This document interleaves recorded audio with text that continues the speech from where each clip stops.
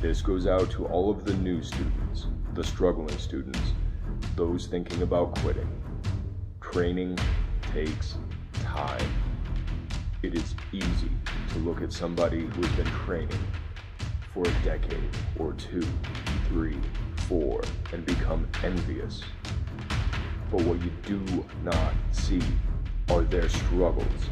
You do not see their mistakes, failures, and plateaus. Yet these are the critical moments that let you know what you are made of. These are the moments where you double down and you analyze and you communicate and you figure out where to go next.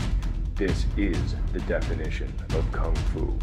It is the result of hard work over a long time, over a lifetime.